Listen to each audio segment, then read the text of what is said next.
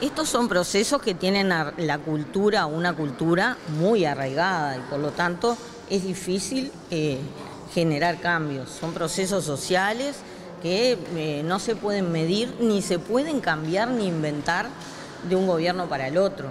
Lo mejor, lo más recomendable es promover políticas públicas en este sentido. Pero aún así, mm, lo que le estoy diciendo no lo digo para justificar, de verdad, eh, cuando empezó esta administración, las mujeres ganaban 76 pesos por cada 100 que ganaban los hombres, hoy ganamos 78.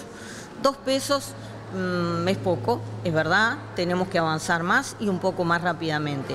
Pero estos son procesos, como le decía, que no se logran de un día para el otro y acá lo que importa es la tendencia.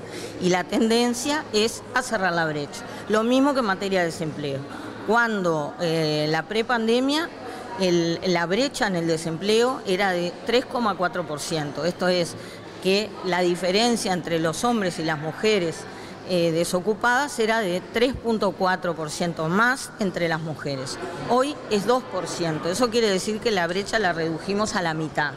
Y eso tiene que ver con una batería de medidas en las que mujeres tienen quizá una responsabilidad menor.